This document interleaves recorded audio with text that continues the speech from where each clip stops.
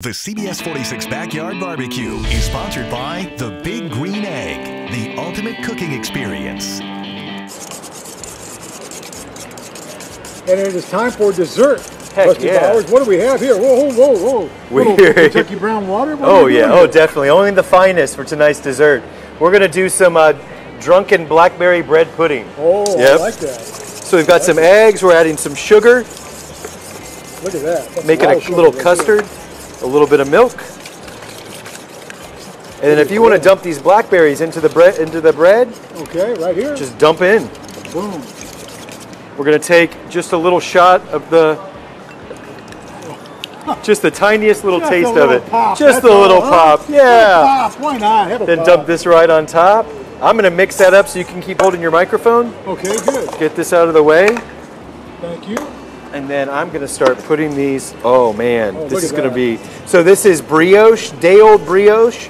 And you From- day old, you said was important because Day old, right? Because it's gonna it's gonna soak up all that stuff a little bit better. So we're packing them into these little Lodge cast iron tins, and they're gonna go directly on the egg. I think for just about 20 minutes.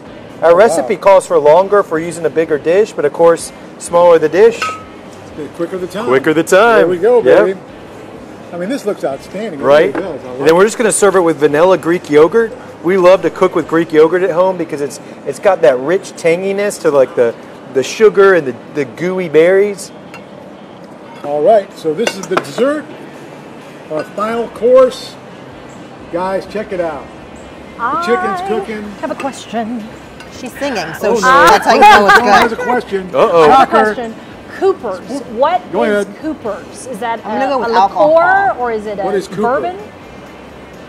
The Bourbon? What is that? It's a uh, Kentucky bourbon. this is Kentucky one, one of my water. favorites K- Kentucky bourbons. is amazing and not only delicious but great to cook with. Yeah, and then when you So, cook it, it you know, cooks you out can the pick your alcohol, bourbon, right? right? And you just get the flavor. It Cooks out the alcohol? Oh, definitely, yeah. Of course, yes, yeah. And if, if you're avoiding alcohol, making this with vanilla instead is a great substitution. Well, there no, I. I like the the taste of bourbon. I just can't drink it because I don't like alcohol. But I'm going to try that today. It looks really good.